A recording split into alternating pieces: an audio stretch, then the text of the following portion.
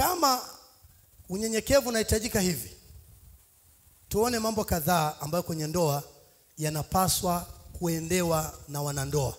Jambo la kwanza, mke na mume wanapaswa kupendana sana usiku na mchana. Natumia neno usiku na, unaweza umpende tu mchana mwingine usiku tu, lakini hii ni usiku na mchana. Tufungue wimbo ulio bora. Tunaanza sasa habari ya ndoa. Sasa tunaanza habari ya ndoa. Kaa tayari, hata kama ni kwa ajili ya wajukuu zako, kama ni kwa ajili yako, kwa ajili ya watoto wako, kwa ajili yako mwenye kijana au ni nani, kaa tayari. Jina la Bwana libarikiwe sana. Mke na mume wanapaswa kupendana sana usiku na mchana. Wimbo ulio bora, kifungu cha tisa mpaka kumi na sita. Biblia hii imejaa mambo yote, ukitaka mapenzi ya kumu ndani. Anasema, mpenzi wangu, nimekulinganisha na farasi katika magari ya Farao. Yaani huyu Sulemani analinganisha mpenzi wake na magari ya farasi. Mashavu yako ni mazuri kwa mashada, shingo yako kwa mikufu ya vito. Tutakufanyizia ma, mashada ya dhahabu yenye vifungo vya fedha. Muda mfalme aketi alipoketi juu ya matakia, nando yangu ilitoa harufu yake. Mpendwa wangu ni kama mfuko wa manemane. Manemane ni aina ya ma, manini yale eh, ile walipelekea Yesu eh? Mane sasa ananukia, sio ananuka. Kila wakati tunaona mke wako ni manemane, sema amen. Sio usiku tu, ni mchana na usiku ni manemane. Haya, anasema mpenzi wangu ni kama mfuko wa manemane ukilazwa usiku maziwani mwangu. Mpendwa wangu ni kama kishada cha hina katika mizabibu huko Engedi. Tazama u mzuri mpenzi wangu, tupige kelele, u mzuri mpenzi wangu.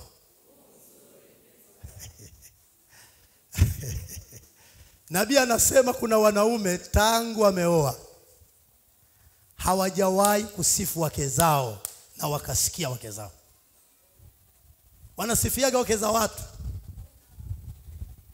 Ah, yule mke wa fulani bwana, ah, yule dada bwana ha, dada mkewe hasikii. Na ukitaka chukizo kwenye ndoa yako, sifu mwanamke mwingine, uone moto utakavyowaka. Amen, amen. Suleiman anasema tazama, u mzuri mpenzi wangu, u mzuri, macho yako ni kama ya hua. Sema amen. Sasa hata macho ya mkewe uyajui ni ya simba au ni ya nini? Wakikuuliza kuna mengine ya goroli yako mndani ndani, wameandika mndani ndani, ila huyu ya kwake alikuwa ya huwa Tuko pamoja mahali hapo? Hayo maneno ambayo Sulemani anaongea, nabii anasema mke anaposifiwa, unapomsifu ananenepa, sio pesa. Na ukimsifu mke wako ni mzuri, mkiachana tu lazima aende kwenye kioo.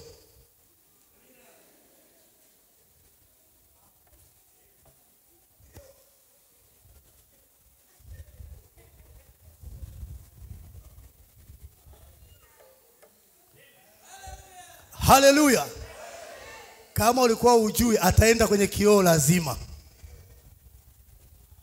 Na usimsifu kwa mzaha, itoke ndani ya kilindi cha moyo.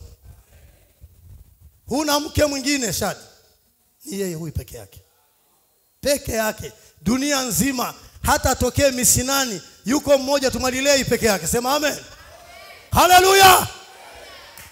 Eh, hakuna mwanaume atasifia mke wako akimsifia swali la kwanza, una nini naye? Na mwanaume asiye na wivu sio mwanaume. Nena kuhusu wivu. Amen. Mnampenda Bwana? Anasema tazama, huu mzuri mpendwa wangu, wapendeza, na kitanda chetu ni majani. Ah! hawakuwa na kitanda, ni majani. Mnampenda Bwana? Tunaanza. Mnapenda tuanze hapo sasa? Sasa hii kisa kingine nimekisema mara nyingi, nitakisema tu, sijui. Oh, okay, nikiseme. Mnampenda yeye? Nitasoma misali michache michache kwenye kanisa halisi, a, kanisa na hali yake. Tarehe tano mwezi wa nane mwaka hamsini na sita ndugu Branham alikuwa anaongea kuhusu njiwa hua. Anasema aliwaona huwa wanapishanisha shingo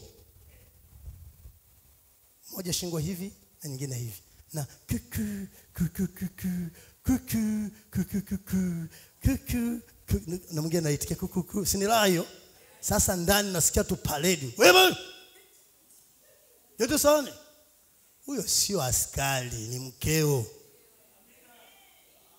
usimuite wewe kuna makabila wake zao wanaitwa wewe. Ukiitwa wewe usiitike, akuiti wewe, anamwita mtu mwingine. Ukisikia siku anakuita wewe wewe wewe, usiitike, nenda shule. Oh, Yesu ni Bwana, Yesu ni Bwana. Ina maana hujanisikia kuhusu nini? Si nimekuita, sema ah, hujaniita mimi, sio wewe. Mke huitwa majina mazuri kila wakati, sweet, ani si wazungu, mtuambie mengine eh? Da, darling eh? Si tutang'ata ulimi bule hapa, lakini tafuta majina mazuri. Unafikiri jina ndio naweza kuita mke wangu vizuri akafurahi? Mke unenepa tu wakati unamjali, lakini kama tu majina mabaya, wewe njoo hapa, lete hivi, wewe wewe mwanamke, huyo sio mwanamke sio mwanamke wa barabarani, ana majina yake. Amen. Kwa hiyo anasema, unaona, walikuwa wakibembelezana. Biblia anasema usiku na mchana mke na mume wanapasa kuwa hivyo. Naona aa, anasema kwenye kifungu cha thelathini na saba anasema hungeweza kupenda chochote ambacho hakikuwa cha asili yako. Kupenda lazima kuungane na upendo. Mume na mke hawana budi kupendana iwapo watafaulu Sio pesa. Mafanikio ya mke na mume hayategemei unavyofanya kazi sana, inategemea kuwa na muda wa kuzungumza naye. Mwanamke anapenda sana muda wa kuzungumza, usijifanye bize sana. Ah, nataka tuongee kwanza. Ah, niko bize niko busy. Kesho eh, niko bize bize. Wewe endelea kusema bize, inaoza hiyo ndoa. Tulia na akiwa naongea usimkatize, hata kama anapo anazungumzia maneno magumu anakuambia yanaumiza, usiyakate, mwache atoe gesi, atoe presha yake. Mwanamke asipotoa presha hata kupenda, mruhusu. Na kama anaongea kweli, uwe mwepesi kusema nisamee. Amen. Usiwe mwanaume mgumu, oh, mimi ni ndugu mimi ni Yesu. Yesu gani? Yesu gani? Yesu mnyenyekevu ndio yule pale. Amen. Aliweza kuomba msamaha hata mtu amekatwa sikio. Mtu Petro amekata sikio la mtu, akasema mtuwie lazi. Kosa la mtu mwingine, wewe la kwako huwezi kuomba. Mimi nilikuwa ndio champion wa kukataa kuonywa nikigundua nimekosea kwa nasingizia kwenda kazini haraka, saa kumi na moja nusu kumbe saa kumi na mbili tuongee, tutaongea baadaye. Nakuja saa sita amelala hivyo hivyo.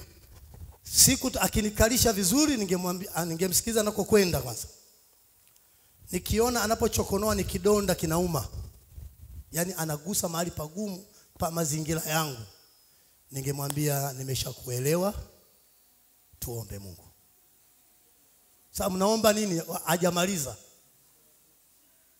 Kwa ningerundika mizigo mizigo mizigo mpaka siku Mungu aliniambia umwache aongee, atapike na ya kweli useme ndio na umwombe msamaha. Siku ya kwanza nilipokuwa namwambia ongea, mke wangu, nikakaa kitako kwenye kiti, ngoja ninyolewe. Unaponyolewa inabidi uwe mpole si ndio? Nikakaa hapo. Kaongea. Maana alijua saa yoyote nitamkatiza tu. Akaongea. Ah, nikasema sio hilo tu na hili hapa pia ulikuwa hujalisema nililifanya. Na hili na hili.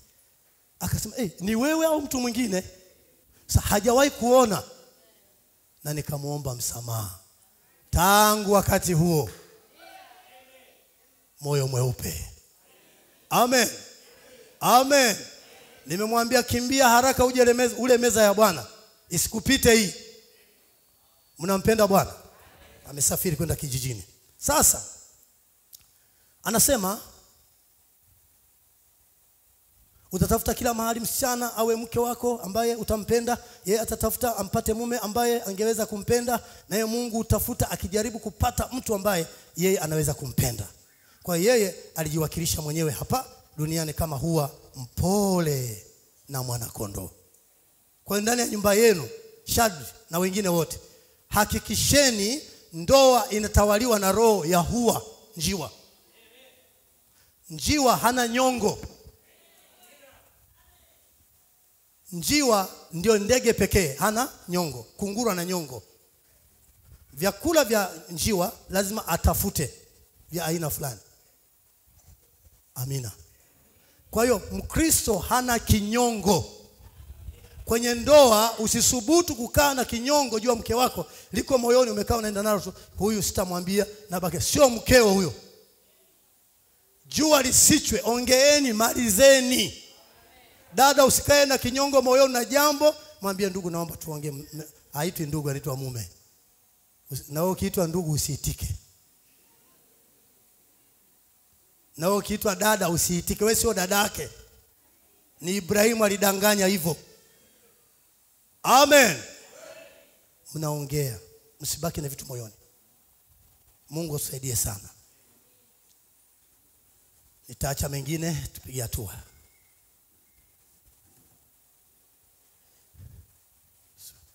Nachukua vitu vya lazima tu kwa haraka tumalize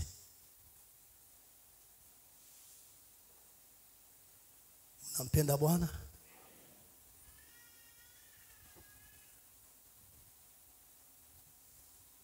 Sijui siwezi kuyamaliza yote. Aha. Eh, hapa ningeacha ningeenda kuhuzunika sana. Hapa mahali wanandoa mkae mrelax kwanza. Naleta kitu cha kuwaburudisha. Kiburudisho cha mwanandoa hasa mwanaume. Feni air condition ya mwaminio air condition ya ya Shadrach ndio hii inapelekwa leo. Kipepeo hiki. Mikono iliyoshika ua hiyo ndio itamtuliza Shadi amechoka toka kazini. Mikono ya mwanamke ni dawa. Wangapi naamini hivyo? Hata kama mwanaume amechoka kabisa kabisa wamemvuruga kazini bosi wa, wa mdachi amemvuruga sana. Akifika nyumbani asnat kama anaelewa sehemu yake cha kwanza mumeo anarudi nyumbani grace ananiangalia. Mwezi wa tano unaondoka nyumbani. Sikiliza mahubiri haya. Amen. Wakati mume anarudi nyumbani mwanamke jizoeze kumwambia mme wako pole bahati mbaya amfanye.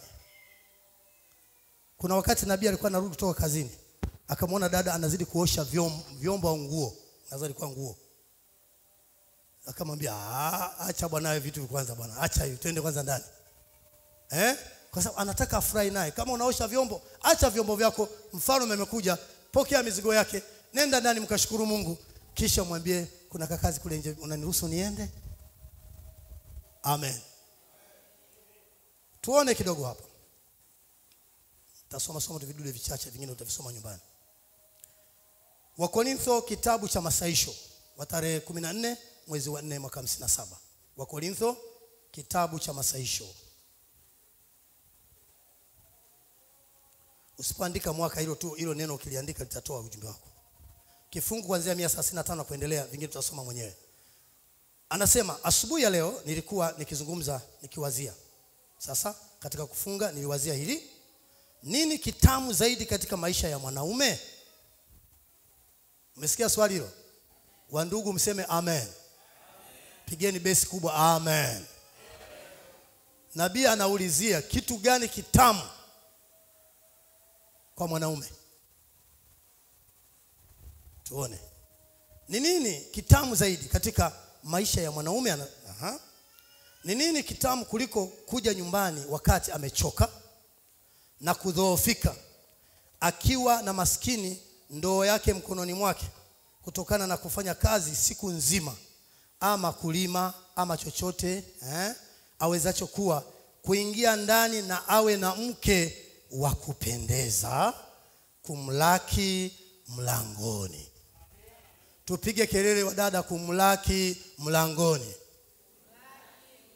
Mseme sauti za nguvu au amfanye kumlaki mlangoni. Panaonekana pana walakini hamlaki. Ukajua siku hizi simu zipo, na mwanaume usiende nyumbani kama unataka kukamata mgoni nyumbani kimya kimya. Simu unayo, tuma message, mpenzi, naanza safari yangu sana, rudi nyumbani. Ah, karibu sana, karibu. Anajiandaa, unaweka mazingira, kama kawezi kuwa naruhusu, kuna kajuisi mahali fulani kamekaa, ili akifika mzee afurahi. Amen. Lakini kama amekupa taarifa nakuja, mpokee mlangoni. Eh, ingia, ingia.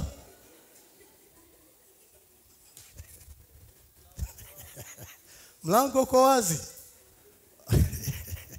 Doto, mlangoni, bosi anakuja, mfalme hujulikana mlangoni. Sema amen.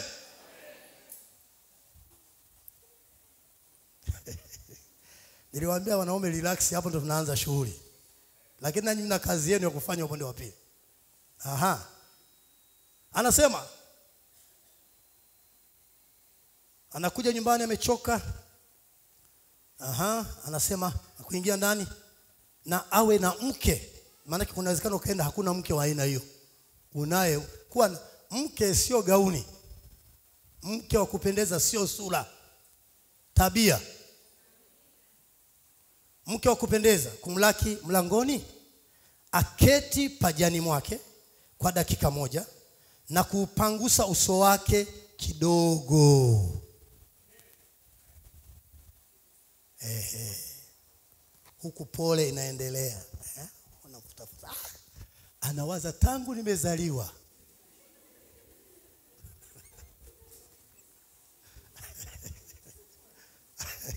Hiyo ndio nabii anayesema ndio utamu huo, kupendwa, kupata mke mwema. Amen. Anasema aketi pajani mwake kwa dakika moja na kuupangusa uso wake kidogo na kumbusu shavuni na kumkumbatia na kusema, mpenzi, najua umechoka, umefanya kazi kwa bidii sana. Anamfariji huyo mwanaume kesho lazima aje na kitenge. Kwa, kwa hiyo na atakuwa anasema wapendwa, mimi nakimbilia nyumbani.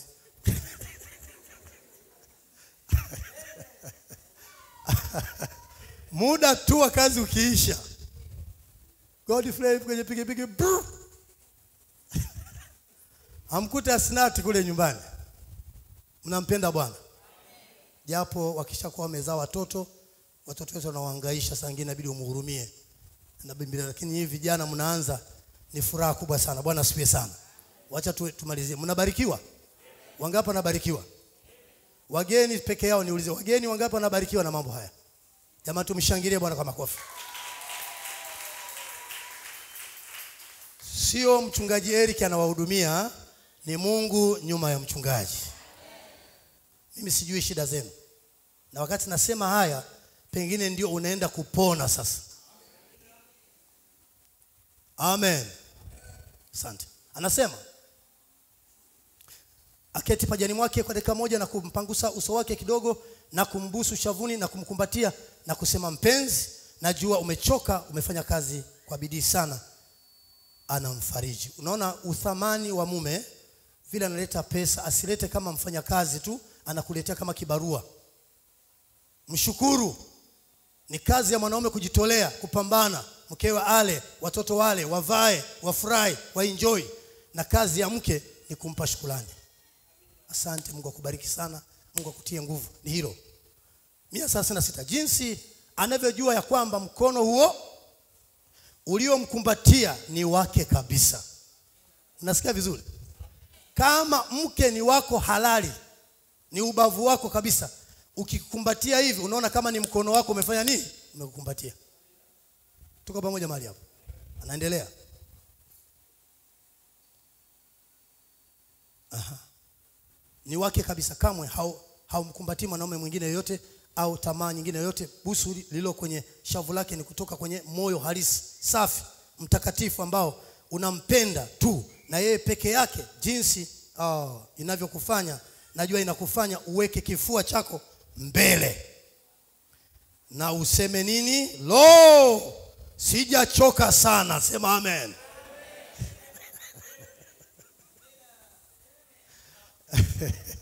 Akifanikiwa kukumbatia na maneno hayo yote na mengine mungu atampatia. Nasikia ndugu lazima ah, mke wangu nafikiri nimechoka sana. Sijachoka sana yaani baada ya hii mikono yako na maneno haya mimi nina nguvu tele. Uwe faraja dada nyumbani kwa mme wako. Amen. Lo sijachoka sana. Hata hivyo aha. Unaona ndivyo hivyo. Linakufanya tu kitu fulani. Nataka kuambia jambo fulani lakini vipi kama busu hilo lingekuwa limekwenda kwenye labda kwa watu wengine kule. Kwa hiyo ndivyo mungu anavyotaka mengine utasoma nyumbani. Jina la bwana libarikiwe sana mnabarikiwa kweli asante okay. taacha vitu fulani tena hapa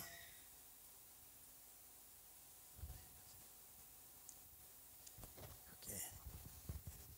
kumpenda mke ni kiwango cha juu sana na pia kumpenda kristo pia e, nabii analinganisha upendo ndio nguvu zaidi uh, nguvu kuu zaidi zilizopo asema mchukue mume anayempenda mke wake. Kabisa yeye angejitolea kufa kwa ajili yake. Unasikia vizuri kuna wanaume hawakubali kufa juu ya wake zao ukitokea jambo la kuuawa anatimuka mbio. Mwanaume halisi yuko tayari kufa mkewe apone. Mnanisikia vizuri? Mmesikia amina kule sio ni ya nani ile? Kubwa sana. Ya mdasha jina la bwana libarikiwe sana. Mke halisi. Yaani mtu akimchezea hata kama una nguvu utaruka juu ya, ya, ya kinu lazima mpambane tu. Na nabii anasema kwenye ujumbe kama anaandika katika anasema ujumbe unaitwa maswali na majibu tarehe 23 mwezi wa 12 23 mwezi wa 12 mwaka 59 kifungu kimoja tu. Uh, 129 mpaka 30 upendo wake ulitenda hayo upendo wake ulilipia dhambi zangu upendo wake uliziondoa. Upendo ndiyo nguvu kuu zaidi zilizopo. Mchukue mume anayempenda mke wake kabisa. Yeye anajitolea kufa kwa ajili yake.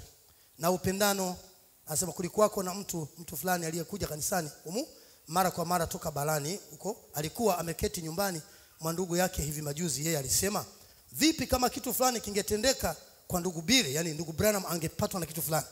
Labda kuna shida ameipitia nabii. Walikuwa naongea huyo mtu. Yeye alisema kwa furaha ningejitokeza kifua changu nipigwe risasi kwa ajili ya ndugu bile uliona watu walivyompenda nabii? Yuko tayari kupigwa kwa ajili ya nabii na mara kadhaa nabii alipotaka kuuawa kwa risasi kwenye mikutano. Watu walimzunguka wakiwaambia wenye risasi tupigeni kwanza sisi. Na ungemwacha nabii. Ule ni upendo baba baba wa kweli kabla hujapata watoto Shadrach anza kupigania huyu mwanamke wako mpenzi wako wa kweli kabla watoto hawajafika. Wengine wanasema napenda watoto tu. Hapana penda kinachozaa kwanza. Amen. Kwa hiyo upendo unafanya hivyo. Nataka niondoke hapo. Okay. mnampenda bwana? Nataka kuondoka hapo nimalize hebu tuone kidogo imani kamilifu kifungu kimoja nadhani cha 127 sababu ya wakati. Bila shaka kama tu mume na mke vijana walivyo sasa hapa mchukue kijana mwanaume na kijana msichana nao wana, wanapendana. Nao wanapoendelea na kuanza kujuana wao kwa wao zaidi mioyo yao inaanza kupiga kama mmoja. Unaona? Wan, anasema na bali bado si mume na mke katika uchumba ila mpen, mapenzi yao yanawashikamanisha pamoja nao wanaaminiana. Naam iwapo wanapendana kupendana kweli kweli nawe wajua ya kwamba msichana huyo anakupenda naye anajua ya kwamba wewe unampenda shadraki mna matumaini mnaaminiana. Nasikia vizuri? Mnaaminiana mna anarudia tena mnaaminiana ninyi kwa ninyi kama sivyo afadhali usimuoe. Nisikilizeni vizuri nataka kufunga muda wangu umeshaisha. Kulingana na ujumbe tulio nao na biblia usije kufunga ndoa na mtu hapa madhabahuni kama humpendi. Yale maswali ya kusema eti unampenda kwa tabu na raha na nini? Tungependa siku tusikie mtu mmoja anasema simpendi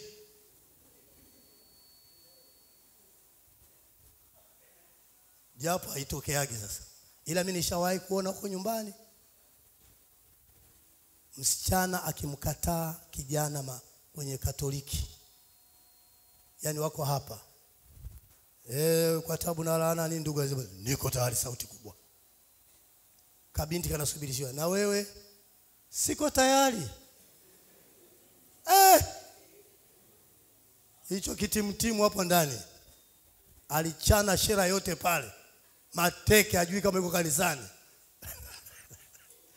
Nikajua kumbe ndoa sio mchezo. Mnampenda bwana? Aha. narudia tena. Sikize vizuri hapa. Anasema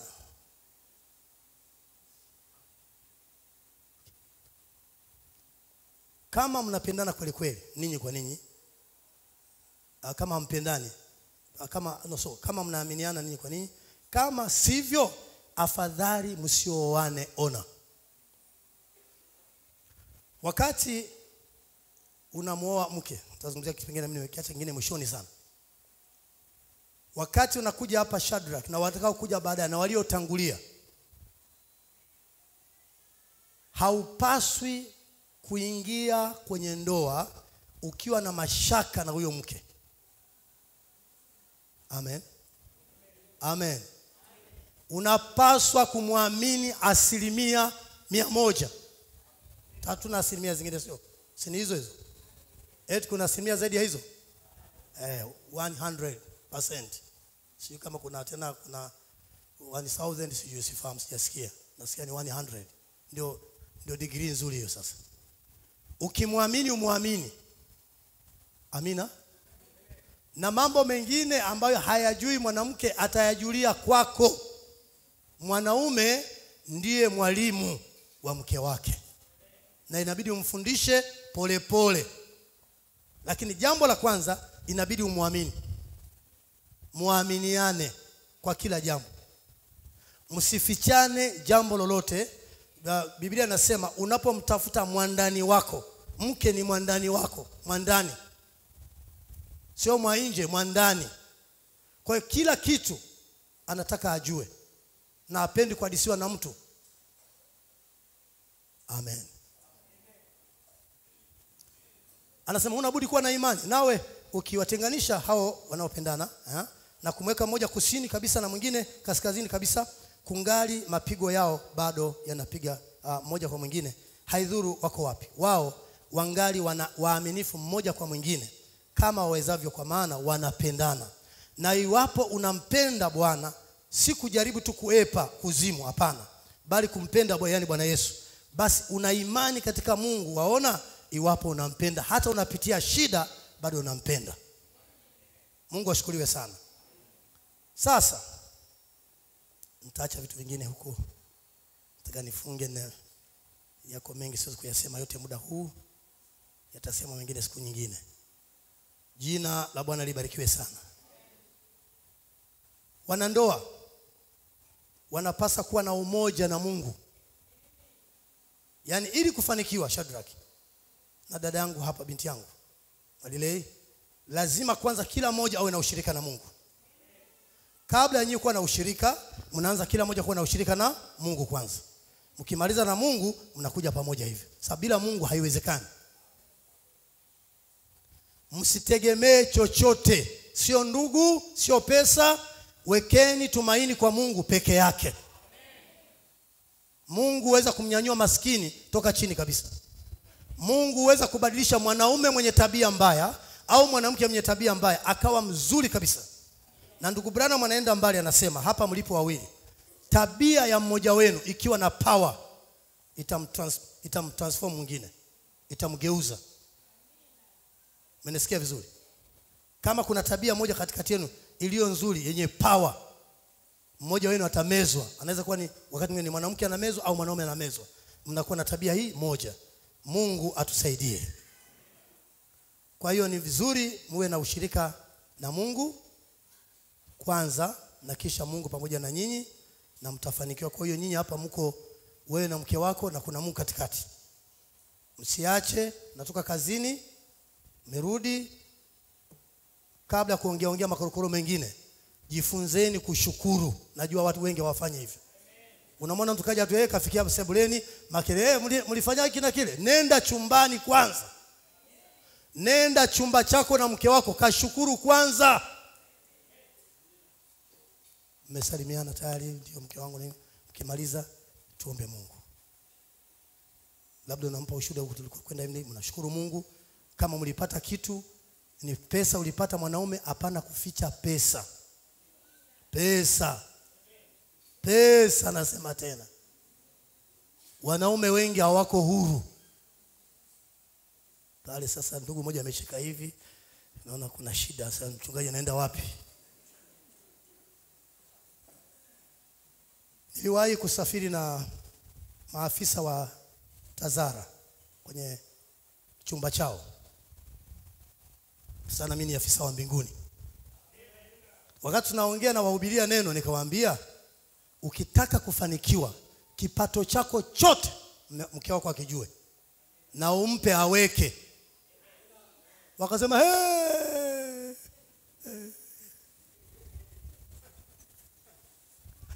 Wakasema yote uliohubiri ni sawa, hilo sio sawa.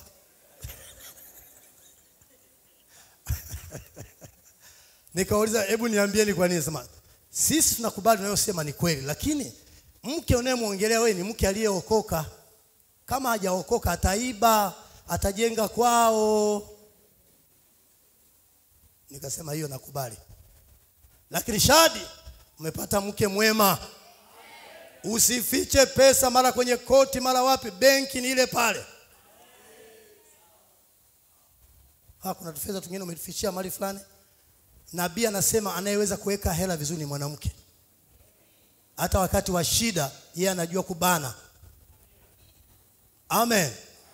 Kule nyuma kama mnafichana pesa, tafadhali ziwekeni peupe. Anayejua bajeti ya nyumba, chakula na kila kitu cha kila siku ni mume. Msikize vizuri, mwanaume halisi hukaa na mkewe wakaweka waka grade ya vyakula. Siku kama hatuna pesa, tunaweza kula chakula cha shilingi hizi. Kama tuna pesa za katikati, tunakula cha aina hii. Kama siku tuna hela nyingi, tunakula cha aina hii. Kwa hiyo mume anapasa ajue kila siku nyumbani ameacha shilingi ngapi, asidai mboga ya hali ya juu na aliacha hela ya chini. Unadai maini wakati uliacha elfu tano. Jina la Bwana libarikiwe sana. Hata ungesafiri kwenda wapi, mwanaume hubeba familia yake. Siku hizi mitandao ipo, huwezi kudanganya, oh, niko huku siwezi kufika. Hela inafika, peleka. Mungu ashukuriwe sana. Mwanamke hakuumbwa atafute pesa hakuumbwa hivyo. Ni shida tu, ni shida.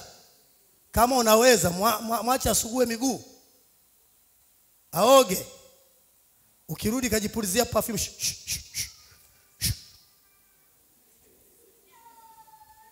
na perfume unanunua wewe mwenyewe unayoitaka. Ukifika unapiga narudi saizi Mwalilei anaoga anajipulizia viperfume vyake, akikukumbatia unasikia ananukia. Amen. Ukiona mke anakuwa kazini na mume kazini, wakati mwingine aidha ni shida fulani, pengine mazingira au la walikuta wako hivyo, ni sawa, lakini mke ni chombo ua zuri la kukaa nyumbani liweze kunawiri. Amen. Amen. Hakuumbwa kuhangaika kupanda kwenye malori. Dada huyu leo tunamwozesha hapa, yuko kwenye Scania, anaenda Tunduma kufuata mzigo.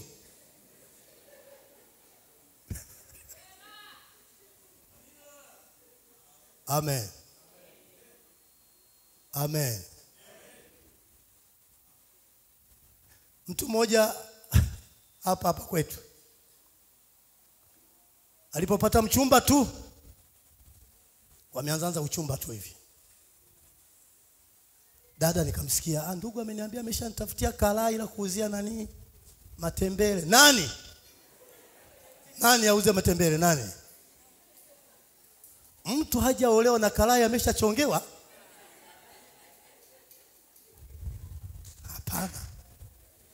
Huyu mwana, huyu mwanaume ni mvivu.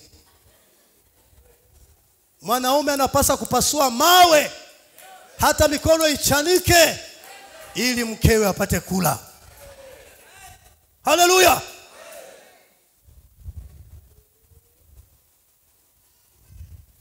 Na watoto wanafahamu mimi ni baba mzuri. Wanangu, simameni. Wanajua mimi babao niko hapa. Simameni. Kama mko ndani, simameni watoto kama wako nje sisi.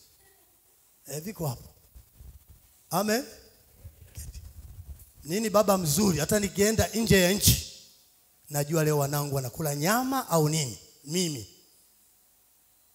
sio kumwacha mwanamke anasumbua kichwa, anawaza mpaka anaoweseka. Mimi najuta kuolewa eh!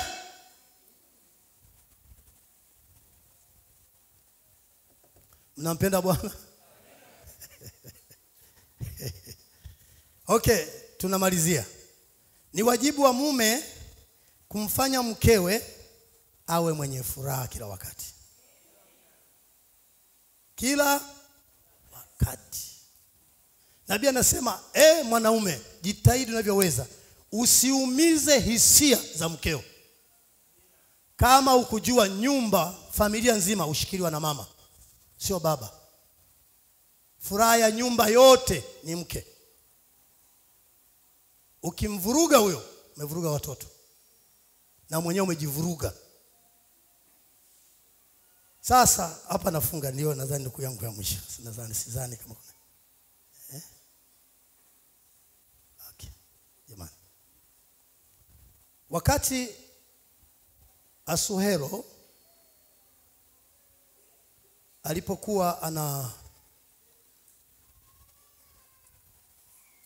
anamwona Esther amekuja kwake na ombi, hajamwambia ombi lenyewe, lakini ndio amejitokeza na fimbo yake pale, akamwambia ingia. Alipoingia huyu mfalme, huyu alikuwa ni malkia wake, akamwambia e, malkia Esther, una shida gani? Sema, mimi nitakupa hata nusu ya ufalme wangu. Unasikia nusu? Zamani ilikuwa kama mwanaume akifariki, mwanamke anakuwa hana thamani tena, nyumba wanamnyang'anya kila kitu. Sasa hivi Mungu amebadilisha, serikali imebadilisha sheria, wanauliza swali, nyumba mmechuma na mke mke, mume anapokufa eti mke anakuwa ana, ana, hawezi kuendelea tena kwenye ile nyumba. Haya, mbona mwanaume akibakia anaendelea? Kwa sasa wamesema akifa baba, mama anabaki na ile mali, asiuze akiondoka ndio watoto watauza. Tuko pamoja mahali hapo? Mali zote ni mali za familia. Kwa hiyo Mungu atusaidie na okay. Anasema kwamba uh, Aswelo akasema vyote ndivyo navyo nakupatia nusu, hata nusu wa ufalme nakupa, mamlaka, mali naweza kupata nusu. Ndani ya nyumba kiuhalisia ni vizuri kumfanya mkewe awe na authority, awe na mamlaka. Anaweza kugawia watu pesa, akikataa mama, amekataa baba, watu wajue hivyo. ndani ya nyumba yako. Wageni wote wanaokuja nyumbani mwako hasa upande wa familia yako inabidi awakubali yule. Sio wewe. Usimjazie mwache yeye akiwalizia ndio waingie. Ila wakwake uwalizie wewe. Umesikia tofauti hiyo? Wageni upande wa kwako ni yeye aseme mwambie shemeji aje tutakaa naye. Usilazimishe utamchosha. Pima upendo wake juu ya familia yako na yapime upande wako kwa juu ya upande wake. Mungu ashukuriwe sana. Kwa hiyo nadhani nikome hapa hata nikiendelea sitafanya kitu tena mungu awabariki sana. Mengine tutajifunza wakati mwingine. Ah, sidhani kama naweza kuendelea tena